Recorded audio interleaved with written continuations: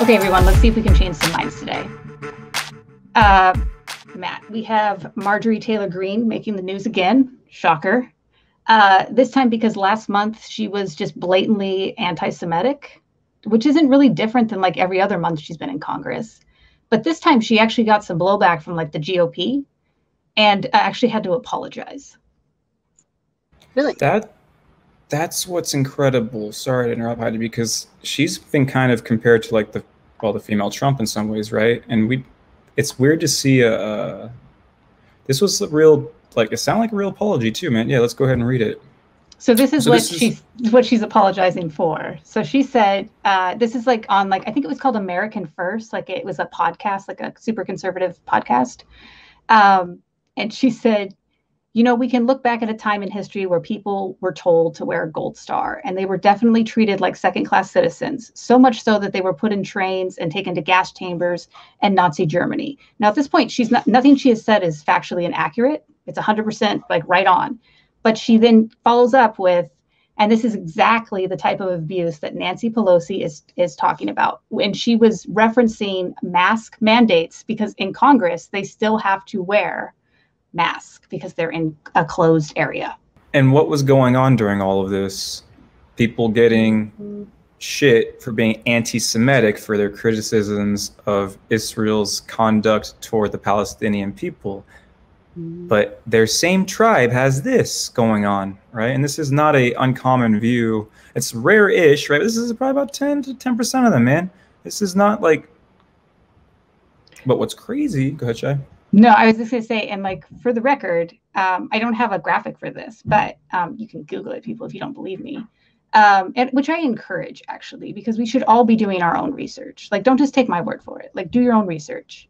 Um, but last month, she also said that uh, you know Nazis were the Nationalist Socialist Party, like the Democrats are the Nationalist Social Socialist Party. So she's trying to create a narrative that like I I can never say Nazis are good and like you all know Nazis were super bad.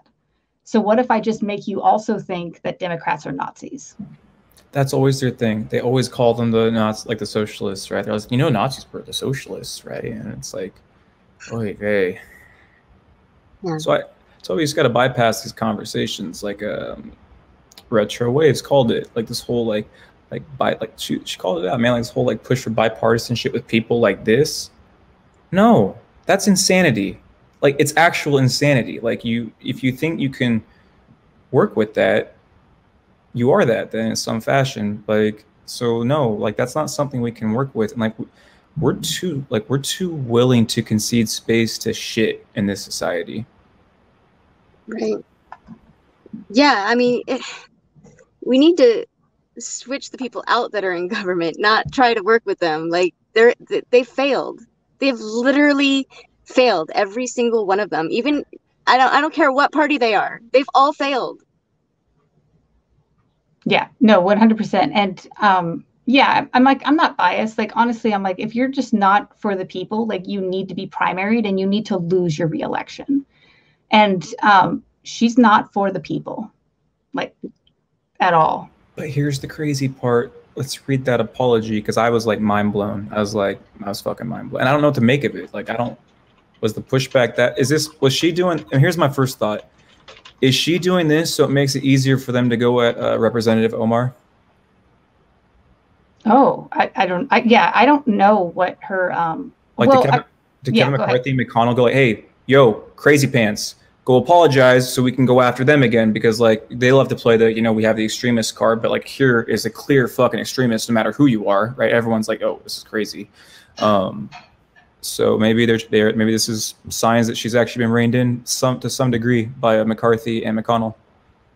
The, the people in the comments, or um, I just kind of wanted to add in that they're also saying that you know um, the right wing people and Republicans are more than comfortable having white supremacists and Nazis hang out with them. A few different comments on that, and uh, Carnage also noted that um, Greene raises a lot of money for the party Yeah, that's why the Dems keep Pelosi around. It's not because the people of like San Francisco are like just like things couldn't be better. I'm like, don't you guys have like a horrible homeless problem and just like so many I don't even know where to like the list of things of why it's problematic that Nancy Pelosi is still making decisions. But yeah, if you bring in the money, they like keeping those people around. And she's she's like this new face that is um taking advantage of people who want Trump to still be around. And she's milking them for all that they can get. And that's feeding the GOP's funds. Yeah. Yeah.